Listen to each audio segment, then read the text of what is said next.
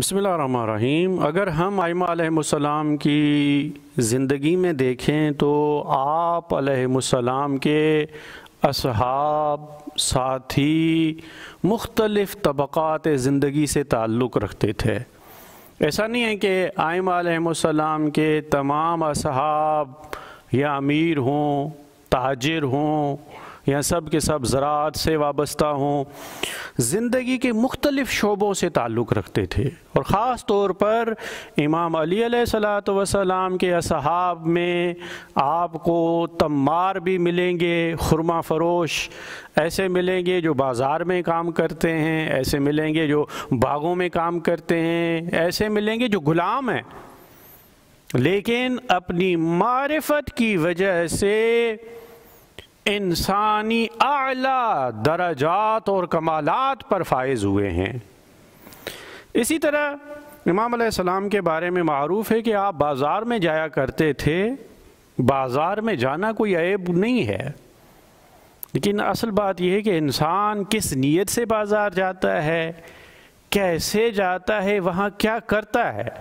इसलिए बाज़ अवत बाज़ारों को गफलत की जगह बताया गया है। इंसान गाफिल हो जाता है। अगर गाफिल हो जाए तो बाज़ार नापसंदीदा जगह है।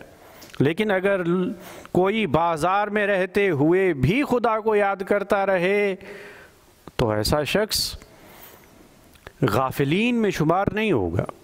इमाम अली सलाम भी इसी नीयत से बाज़ार जाया करते थे, अपनी ज़रूरियात ज़िंदगी के लिए भी, और लोगों को वाजो नसीहत करने के लिए भी, कि लोगों, ख़बरदार इस जगह पहुंचकर अपने खुदा से गाफिल ना हो जाना। कभी एक हाकिम की हैसियत से कीमतों पर नज़र रखने के लिए भी जाते थे कि किस कीमत पर चीज़ें बेची जा रही हैं। ये इस्लामी हुकूमत की ज़िम्मेदारी होती है कि वो कीमतों को ज़ेर नज़र रखे। अब जब इमाम बाज़ार जाते हैं तो लोग आपको जानते हैं बहुत सारे। अब जैसे होता है कि कोई अगर किसी को जानता हो और उसके पास अच्छी चीज़ आ जाए तो कहता है कि ये चीज़ आज ले ले। अगर मैं बाज़ार जाऊँ, मेरा कोई दोस्त सब्ज़ी फ़रोश हो तो अगर उसके पास अच्छी सब्ज़ी आएगी तो कहेगा कि, मौलाना, ये अच्छी सब्ज़ी है, आज इसकी कीमत भी मुनासिब है, लेना है तो आज ये ले लें। अगर कोई कपड़ा बेचने वाला है, उसके पास अच्छा कपड़ा आएगा तो अपने दोस्तों को बताएगा अच्छा कपड़ा आया है, अच्छी वैरायटी अच्छी कीमत पर बिक रहा है तो ले लो। इमाम सलाम ऐसे ही गुजर रहे थे तो एक कसाब ने पीछे से आवाज़ देकर बुलाया मौला को, या अमीर अलमिन आज मेरे पास बहुत अच्छा गोश्त आया है। अगर आपने गोश्त खाना है तो आज बेहतरीन गोश्त आया है और इंतहाई मुनासिब कीमत पर भी है। रिवायत में कि इमाम सलाम वहाँ रुक गए, ठहर गए। थोड़ी देर वहाँ पर रुके और फिर आगे चल दिए। पीछे से उसने आवाज़ देकर बुलाया, कहा कि, मौला, क्या हुआ? गोश्त अच्छा है? आप लेना चाहते हैं? आप ठहर कर जा रहे हैं? आपने फरमाया कि, लेना तो चाहता था, लेकिन मैंने जेब में देखा तो जेब में गुंजाइश नहीं है। कभी ऐसा भी होता है? कि इंसान के पास ऐसी गुंजाइश नहीं होती कि वो चीज़ ख़रीद सके। अब क्या?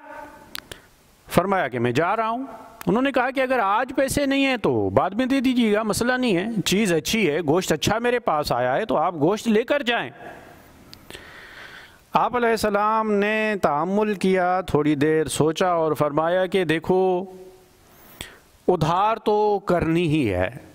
अब या तो मैं तुमसे उधार कर लूँ कि चीज़ ले जाऊँ और कीमत बाद में अदा करूँ, या ये है कि मैं अपने पेट से उधार कर लूँ।